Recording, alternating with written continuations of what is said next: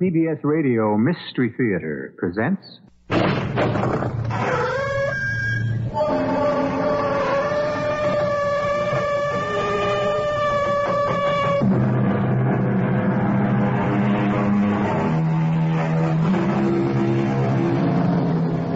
Come in.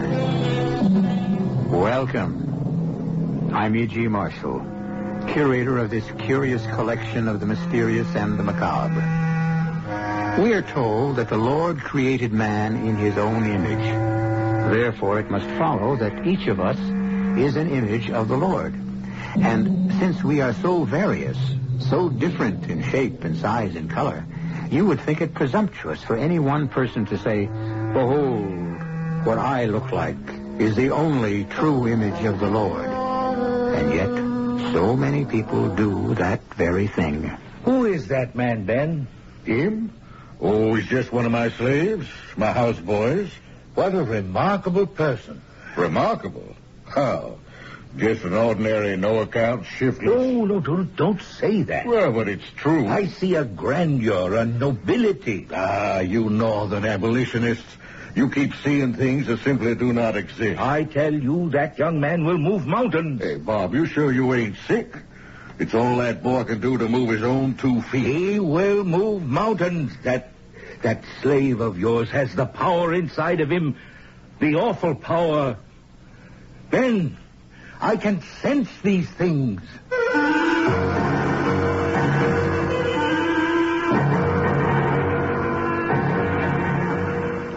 Our mystery drama, The Black Whale, was written especially for the Mystery Theater by Sam Dann and stars Brock Peters. It is sponsored in part by Buick Motor Division and Sine-Off, the sinus medicines. I'll be back shortly with Act One.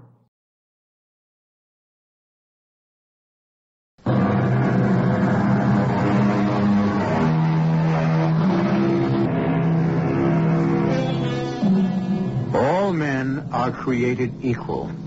However, some people have always considered themselves more equal than others. When our great republic was founded, there were some people who weren't even considered people. It had to do with the color of the skin. If yours was white, you were people. If your skin was black, you were a slave. You were nobody. Actually, a black person wasn't even considered a person, except for the purposes of government record keeping. And since the state was represented in Congress according to population, a slave was listed as three-fifths of a person. The year is 1820. We are in what is destined one day to become the state of Texas. Colonel Benjamin Borders, a wealthy farmer, is entertaining an old friend from the East. There is another person, or uh, we should say, a non-person in the room. His name is Jim. He is one of the house slaves. And this is to be his own story.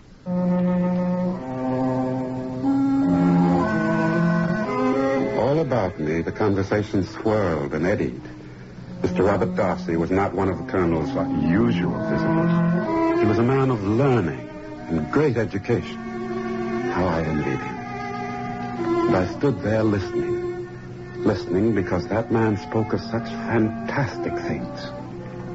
The power of the mind, Ben. The power of the mind can move mountains. Oh, really? I'd settle for a more simple kind of proof. I'd like to see somebody's mind make that wine bottle lift itself up and pour its contents into my glass. Under proper conditions, the right kind of mind could do it. And speaking of wine, your glass is empty. Jim. Jim. Uh, uh, yes, sir. You won't gather gathering again, boy. Uh, uh, no, sir. Weren't you trained? You know better than to leave a man's glass stand unfilled before him. Yes, sir. Well, pour the wines. Mr. Darcy to die of a thirst in my house. Oh, uh, Ben, I, I see you've been reading the books I sent you. Oh, well, uh, uh, no, Bob. I'm sorry to say I, I ain't had a chance. Somebody must have been reading the books. The pages are cut. Well, nobody could read 'em, Bob. There's just me and the slaves in the house here. Well, do, do any of your slaves read? you ain't serious, Bob. You can't be serious. How could a slave read? If he were taught, he could learn just like anyone else. Up in New York, Boston, I've met freed slaves who could read and write. Well, yeah, yeah, but it was a trick. A trick? Well, you can teach a parrot to talk, can't you? It's all a trick.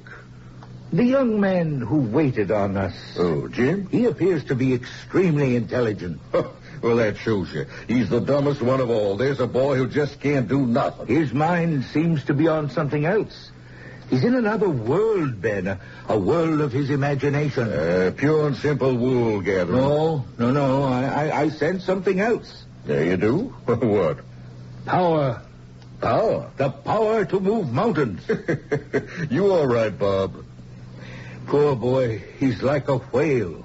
A whale?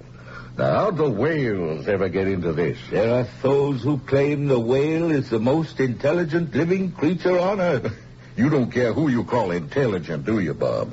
First blacks, and now whales. But you see, the, the whale is the captive of his physiology and his environment. He has no way to express his intelligence. He has no hands. He can't build. He can't live on land. He's a prisoner of the water. Uh, you're getting too deep for me, Bob. I'd like to help that young man. Help him? How? Send him to college. College? Oh, Bob, I believe you've gone mad. But don't worry. I'm your friend. I'll keep your secret.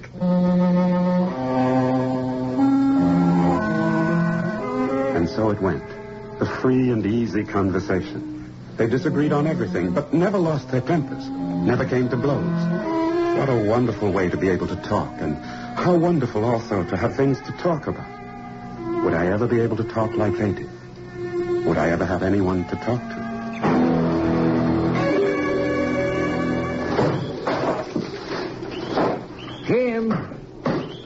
Yes, sir. what are you doing? I'm supposed to cut wood for the fire. Why do you say that, Jim? Cause master say chop and I'm supposed I know you were ordered to do it, but you could just as easily say, I was supposed to cut wood for the fire. Well, Jim, Yes, sir. how did you learn to read? You can read, can't you, Jim? I... Uh, don't be afraid of me. The colonel has an excellent library, I know. I selected it for him. However, he has neither the time nor the inclination to read. But I know someone has been reading those books, Jim. Who? You? Yes, sir. I was right. I sensed it. There is something uh, about the transference of thought. I knew you could read. Don't ask me how. It has to be miraculous. Who taught you to read? No one. Then how did you learn? It came to me. The books bound in bright red, in rich brown leather. Something, I don't know what, drew me to the books. Something seemed to say to me, Come, Jim. Come to the books. What was it, a voice? No. It was a desire. But the markings in the books were so mysterious, so hidden. Will they always be kept from me, I asked. And then I, I saw a picture of a pistol. And there was the marking under it. And it was suddenly revealed to me, this must be the marking. This must be the sign that signifies a pistol. Then I understood. There is a sign, a word for everything. Jim, that's remarkable. Is it? It's amazing. What a fantastic accomplishment. You should be so happy Why? because you've achieved such a tremendous victory. Have I? Or have I become a whale? Yes, I, I have listened to what you said about whales. What good does my learning bring me? Like the whale, I can only flounder aimlessly and endlessly, to no purpose. What can I do? Where can I go? Jim, Jim, you come with me right now. But Master says I'm supposed to chop wood. I want to see the look on Ben Border's face. You drop that axe and come with me.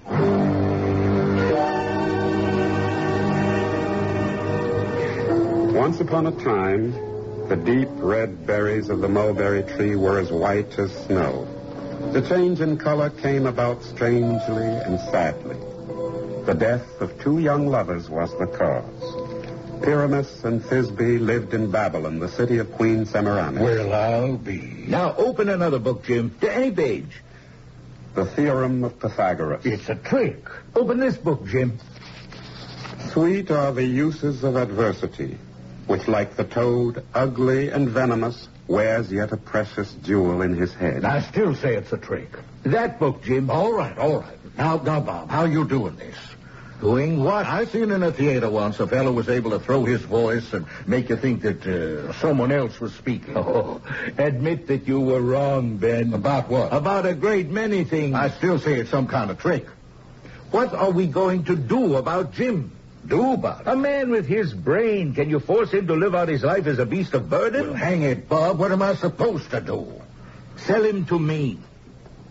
You mean you? A true blue dyed in the wool northern abolitionist like you? You'd own a slave? this is the time of great happening. I want to buy him so I can take him north and set him free. Well, I ain't going to let you go puffing and preening among your northern friends about out of the goodness of your heart. You spent $800 to give a poor black soul his freedom. You mean you won't sell him? No, I won't sell him. Why not? Because I'm an honest man. He ain't worth a nickel. His value's just gone all the way down to absolute zero. What are you talking about? His head's so full of uh, Pyramus and Thisbe and Pythagoras and I don't know who and what all. How's he going to chop cotton, a whole corn, or wait on table? Take him, take him for what he's worth now. Nothing.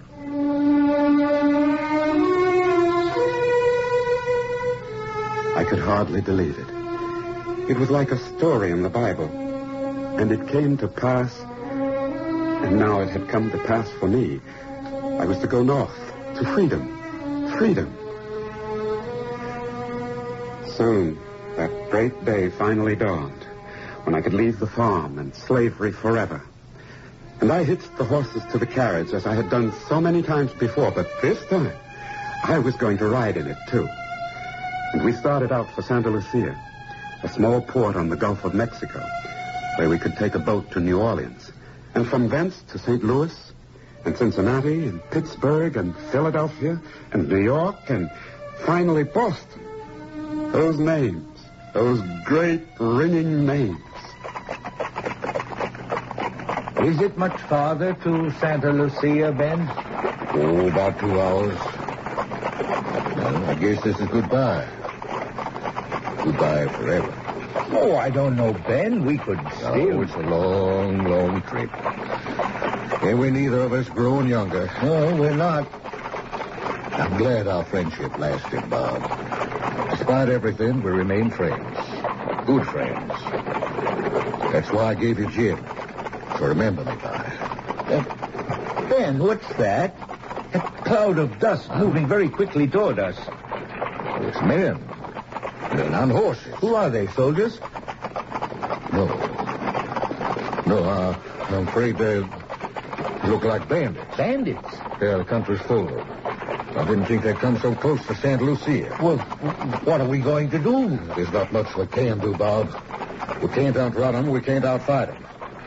All we can do is wait. Oh, oh! And we waited. And as we stood there motionless and watched the cloud of dust grow larger and heard the approaching thunder of horses' hooves, something bright and happy inside of me suddenly became dark and sad.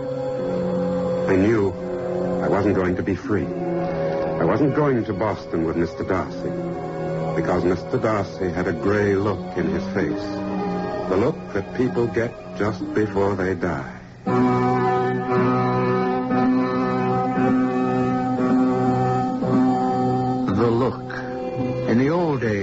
Used to say a man who was about to die had a certain look on his face. It was supposed to be the soul getting ready to leave the body. The soul waiting for the moment of release. Is Mr. Darcy going to die? Why? How? And if he does, what will happen to Jim? Well, nothing will happen to anyone until I return in a few moments with Act Two.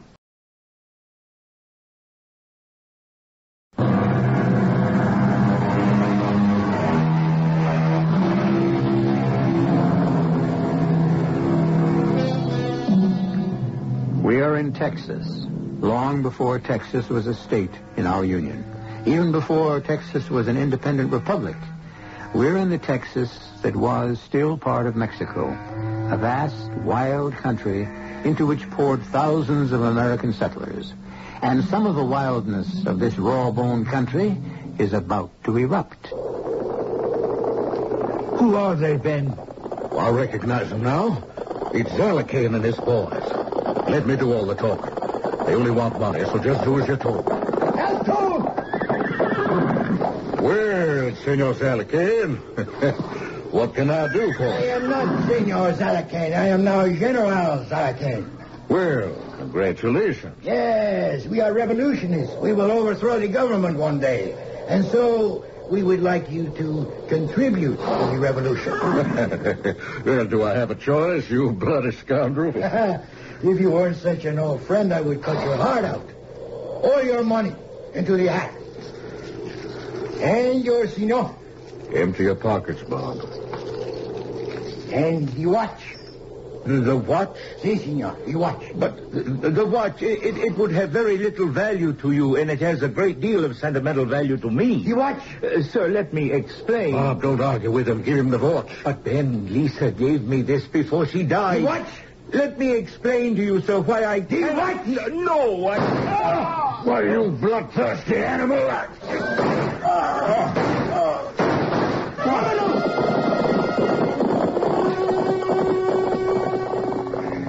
It only took a second. But my dream was shattered and in ruins. Mr. Darcy was dead. Colonel Borders was lying on the ground unconscious with a bullet wound. Somehow I, I managed to get them both into the wagon and I turned the team around and drove slowly home. Home. I had dared to dream of becoming an eagle. But in reality, I was still away. Several months went by, and, and finally, Colonel Borders recovered from his wound. But he wasn't the same. Something seemed to have left him. He never mentioned Mr. Darcy's name un, until one morning. Well, Jim, Yes, sir? where'd they bury Mr. Darcy? In Santa Lucia. Jim, what did Mr. Darcy do to you? Do to me, sir? Yeah, Jim. How, how'd he get you to read through all of the books? Well, what was the trick? Oh, it, was no trick. Oh, I'll bet he, I'll bet he hypnotized you. No, sir. I bet you don't even know what it all means. I have read the monograph published by F.A. Mesmer, who... Uh, that's enough. That's enough. Colonel, please. You promised Mr. Darcy you'd set me free. I promised no such thing.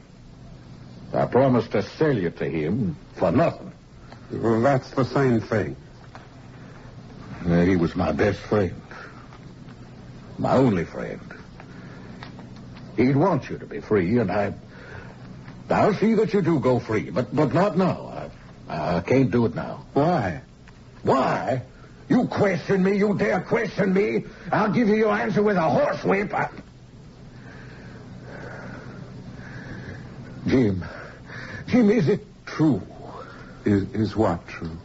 Is it true you can read and write? Yes. Then you gotta help me. Now, o- open up that chest with, with my papers in it. That's it. Now, now you're gonna have to you're gonna have to take care of all that because I I, I can't seem to concentrate. The words, numbers, they, they, they just dance on the paper. You gotta help me, Jim. You gotta help me. It was the first time a white man had ever asked me to do something. I knew what it was to be told, but to be asked, that was something else. Something strange and, and, and new. I kept his records. I wrote his letters. And every day he became richer and richer. And every day I would ask him the same question. Colonel, when will you give me my freedom? Freedom. You promised me. Yeah, yeah. Well, uh, It's my intention to give you your freedom. It's just that the, the time ain't ripe. You, you need it here. But, Colonel, I... Oh, Jim, you're getting treated right. Yes. All you want to eat? Well, Yes. nice clothes. You live here in the house. You got a comfortable bed and linen, just like me. you know, Jim, you must be the only black slave in the world who sleeps with bed sheets. But, Colonel, I... Now, that's something, Jim. That's something.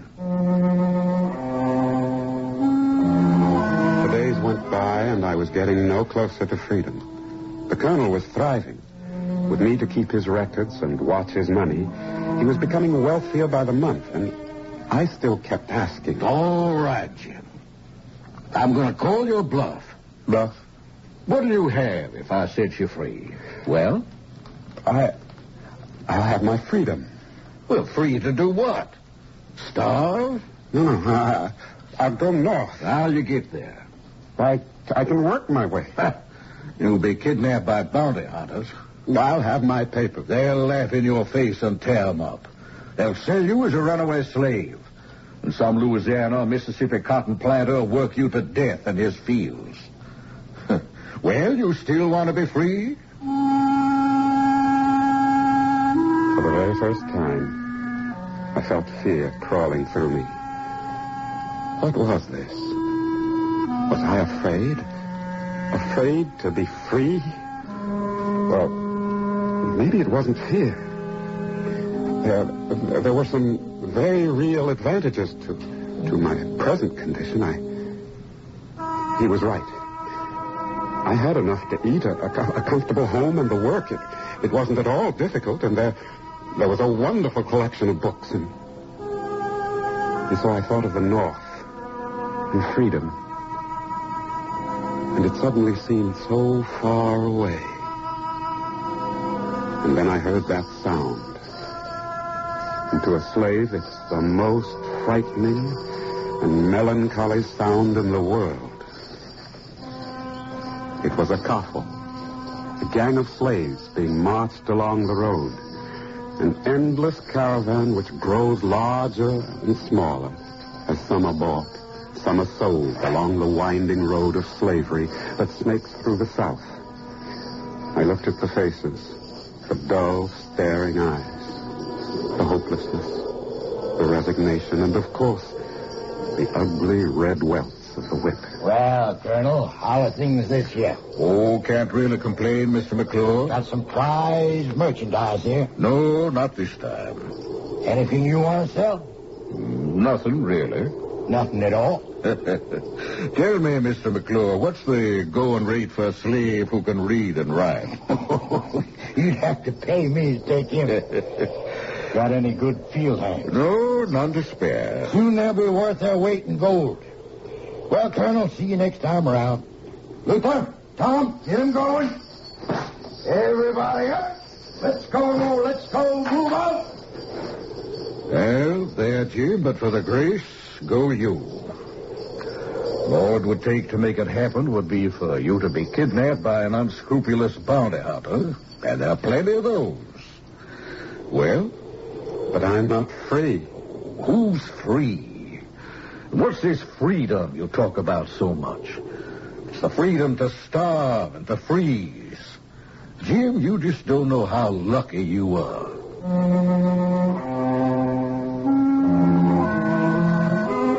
Maybe I didn't. It was the very first time that kind of thought had ever stolen inside my head. We keep talking about being free. But if we were, where would we go? What could we do? What kind of work would I find to do? Freedom. It had always been a word that thrilled me. But now it frightened me. But one day, something frightened me even more. Jim, Yes, sir. you didn't give Mr. Darcy any meat. Mr. Dar... Don't stand there looking like that. Colonel, Mr. Darcy isn't here. Who are you saying, Jim? Ain't that Mr. Darcy sitting at the table big as life? Colonel, Mr. Darcy's dead. You, you lost your mind. What little bit of mind you ever had. You lost your mind.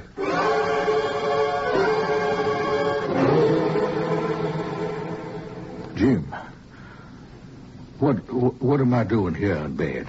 You, you're sick, Colonel. You fainted. I, I feel hot and dizzy. I can't move my whole right side. Jim, what, what's the matter with me? You, well, I, I looked it up in the book. You, you have what they call a stroke. What? Something, something happens to the blood. It, it doesn't flow freely. Freely, freely. What, what happens? Well, sometimes you get better. Uh, sometimes. You, you don't. Jim, ri- ride into Santa Lucia. Bring back the doctor. Colonel, the doctor can't help you. He's got to help me. He's a doctor. I read in the books that there's nothing anyone can do. Oh, what do you know about it? I've read as much as any doctor, and I tell you. Now, Jim, you go get me that doctor. I'll tell you what I'll do. I'll, I'll sign the paper. Paper that sets you free. Now, how's that, huh? Here, b- b- bring in some paper and a pen and, and ink. And while you're gone, I'll, I'll write the, the document. Now, you, you, you hurry, Jim. You hurry. I galloped all the way to Santa Lucia and all the way back with the doctor. But we returned too late. He was dead. The colonel had died. And there was a sheet of paper clutched in his hand. But it was blank. Not a single word had been written in it. Good morning, ladies and gentlemen. We're now selling the estate of our dearly beloved and recently departed friend, Colonel Benjamin Borders. And to begin with, we got us as prime a stock of living merchandise as there is in the entire state. I begin with Jim here. How old are you, boy? Cat's got his tongue. but he's a well-trained hard worker. Use him in the house, in the field. Look at them muscles. Now, will somebody open the bidding at $400? Seven hundred and fifty dollars. Well, it's Mr. McClure. Yes, sir, it is. I ain't got time to waste with nickel and dimes bidding. I know what it's worth and what I can get, and I'm a busy man. I got 750 Do I hear another bid? Another bid. Well, then, you got yourself a bargain there, Mr. McClure. Come on, boy. Down the road, I could see them. The coffle. The poor, wretched, terrified slaves in the coffle. In a few moments, I would be one of them. Yes, I had always been a slave from the moment of my birth. But this would be a kind of slavery I had never known before. This would be the naked and violent slavery I had dreamed of in my nightmares. And suddenly, I was no longer afraid of freedom. The colonel's horse, Jupiter, was standing nearby. Another piece of flesh, like me, waiting to be sold to the highest bidder. But a superb piece of flesh, the fastest in the county. Before anyone could realize what was taking place, I was on his back. Run, Jupiter! Run! Run like you never ran before! You're running for freedom!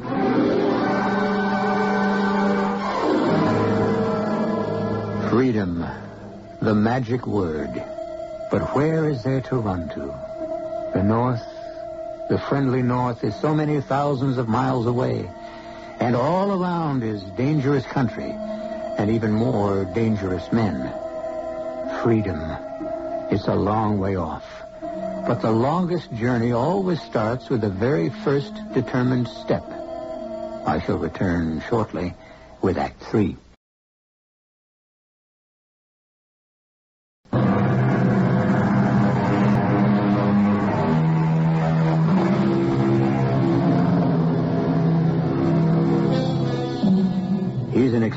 Complex young man. His name is Jim. That's all. Just Jim. Black slaves had no family names. Actually, they had no family. In reality, they were nobody. They were nobody until they called attention to themselves, and they could only do that by breaking the established pattern of their lives. And Jim is doing that right now. He has just escaped. I see nobody caught him, Sheriff. Mr. McClure, he does have the fastest horse in all of Texas. He's my property. I paid for him. I expect you to return him to me. Oh, we'll get him. Why ain't you organizing a posse to ride him down? Well, now be reasonable, Mr. McClure. I'm going to deputize a few good trackers, and they'll manage to come up I with him. I want action. I'm entitled to the protection of the law. I've never seen a finer piece of flesh in all the years I've doing business. I gotta get him back. Freedom. This was freedom. This terrible wilderness where nothing could live, where the cruel sun broiled the body by day and, and the cold, lifeless moon froze the blood at night. No food, no water. And one morning, Jupiter disappeared. I, I don't know. I, I awoke and my horse was gone, and, and I knew that I was gone too. I was too weak to walk or even to worry. I, so I, I lay on the ground to wait, to wait for freedom. And suddenly, she was there, sitting on her horse. A woman, a white woman, pointing a rifle at me. And two men, black like me, slaves like me, were with her. Who are you, boy? What are you doing here? Where are you bound for? Freedom, freedom. What was that? What are you saying? Let me dwell in freedom's house. You look like a runaway to me. Rose, Henry, get him up on his feet. We'll take him home and find out who he belongs to.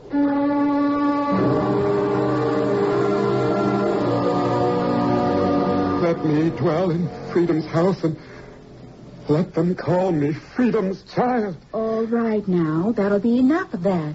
Solitudinem faciunt pacem appellant. They make a desert and call it peace, but there is no peace. No peace in the desert. All right, you're crazy. But you're smart enough to eat. I see you cleaned up that plate.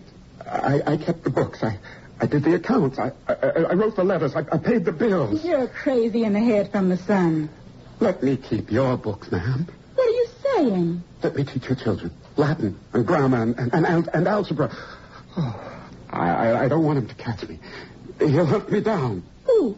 Who's going to hunt you down? He has a whip. He holds a whip in one hand and a chain in the other. Save me. Save me from him. I'll make you rich, rich.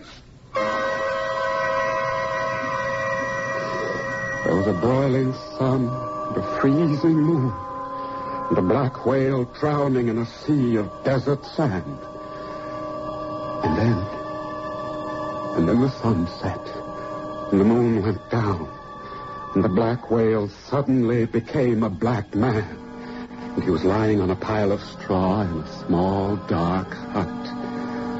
And a white woman was standing there, looking down at him.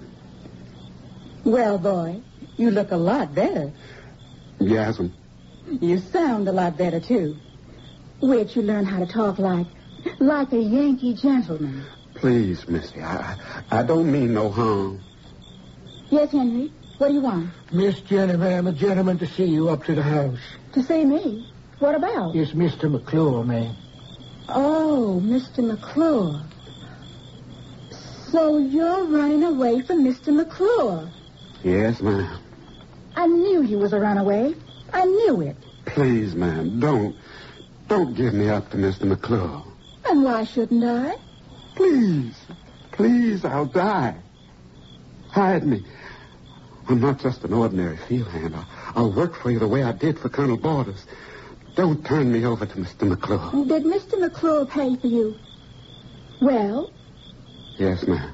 then he's your master. And it's my duty as a law-abiding woman, as a religious woman, to return you to your legal, rightful owner. You call yourself a law-abiding religious woman. But what laws do you follow? What religion do you obey? Who gives you the right to treat me like an animal? Look at me. Look at me. You ignorant, arrogant woman. I'm a man. I'm a man like your husband, like your father, like your son. I have the same heart, the same blood, the same soul. Henry, shut his mouth. Inasmuch as you have done it to the least of my brethren, you have done it unto me. I said shut his blasphemous mouth. Uh, Henry, Don't you dare let him leave this hut. Henry? No, no, I, I knows what you're going to ask me. Just don't, that's all. I, I, I got to escape. Miss Janice kept me alive. You'll kill me. Mr. McClure, kill me. Well, you, you better off dead. We're all better off dead. No. We're better off free. Don't you worry none about it, boy. You'll be free soon enough.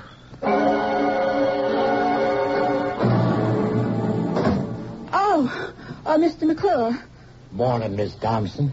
Got to run down a young buck. Lost him about a week ago. Kind of tall. No fat on him, but good muscles. Trailed him up into this vicinity. Was wondering if you might have seen him. Uh, run away? I. No. I haven't heard anything. Well, I'm much obliged to you, Miss Thompson. I. I hope you find him. Oh, I'll find him. If I have to spend every penny I got in the rest of my life, I'll find him.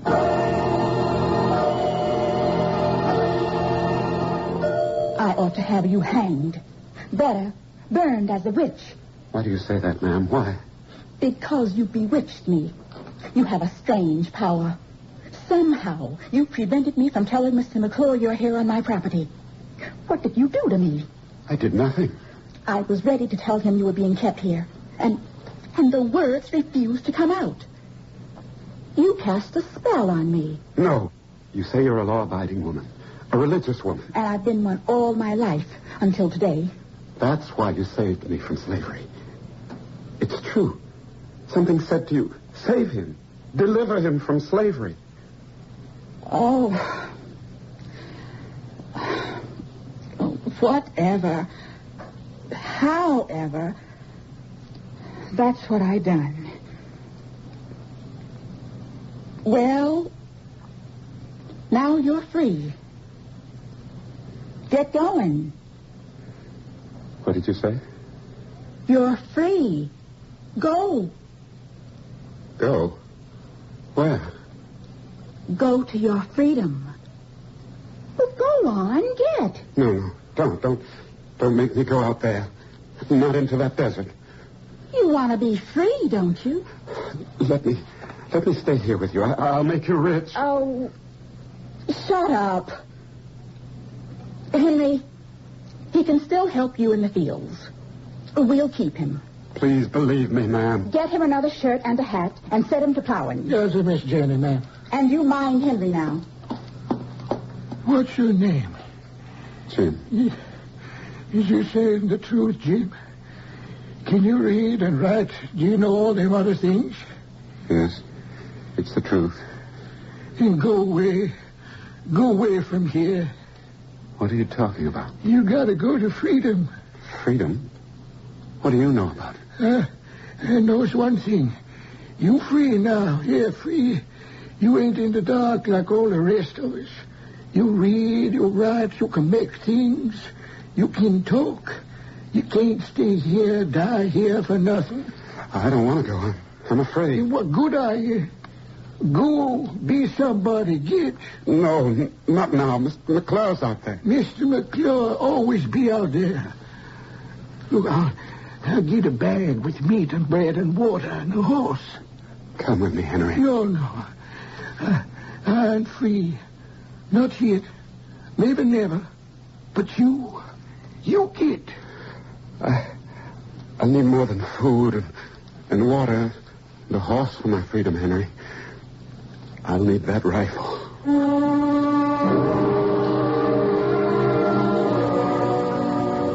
It was a wild, arid wilderness.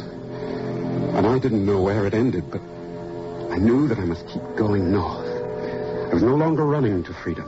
I had freedom. I was a free man seeking a free people. I was busy with my thoughts, so I didn't see him there waiting, sitting on his horse with the gun in his hand until I was almost upon him. Right, boy. Off that horse because I'm going to whip you to within one half inch of your life. You're not going to whip anybody. Get off the horse. No. No. I warn you, don't you reach for that rifle, boy. You hear me? I heard you. I can pull this trigger before you can even level that gun. You can, but you won't. Don't try me. What good am I to you, dead? Take your hands off that rifle. I'll blow your head off. You won't blow the head off of $750. Drop your rifle. You better shoot me now, quick, while you still have the chance. You can't do it. You just can't believe I dare to kill you. And you won't. You know you'll be hunted down like an animal. But I am an animal. You can't believe what you see. A black man who dares to point a gun at you. Ah, you ain't stupid. You know you can't get away. But it has to begin. Somewhere, sometime, with somebody. Just put the gun away. You're only making it worse. No. Get off that horse. Move aside. Goodbye to you, Mr. McClure. It had to begin somewhere, sometime, with somebody.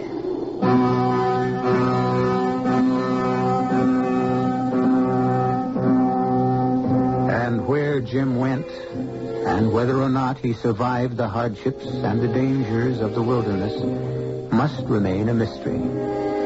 And we tell this story during these times when our minds are concerned with the birth of freedom in our country, to take the measure of how far we have come, and perhaps to consider how far we have yet to go.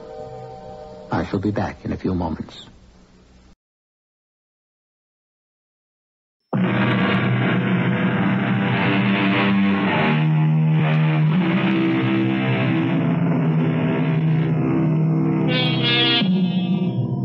Whale swims endlessly, the prisoner of the sea. But how many millions of whales there must be in our midst, in our own world? For there are other cruel seas that act as a prison. Ignorance is a sea, and poverty is a sea, and superstition is a sea, and hatred is a sea. And until a way is found for all men to emerge from these cruel seas, all of us are in danger of drowning. Our cast included Brock Peters, Bret Morrison, Lynne Hamilton, Marvin Miller, and Ken Lynch. The entire production was under the direction of Himan Brown. And now, a preview of our next tale. There's a copy of the National Intelligencer right there on the sideboard. Oh, thank you, Mr. Du- oh, I'm embarrassed, but n- not having met you in person last night, your name has escaped me. well, Lord knows it's not that special anyone should remember it. I'm a widow lady named Mary Surratt. Now, if you'll excuse me, I'll get your food. Surratt! Matt, get the paper. Sure. What what date is it? Uh, let me see. Uh, April 13th, 1865. That makes today the 14th. But what? Oh, my God. April 14th. The day John Wilkes Booth assassinated President Lincoln at Ford's Theater. And we're in Mary Surratt's boarding house, the spot where the whole plot was hatched. Radio Mystery Theater was sponsored in part by Sine-Off, the Sinus Medicines, and Buick Motor Division. This is E.G. Marshall inviting you to return to our Mystery Theater for another adventure in the macabre. Until next time, pleasant dreams.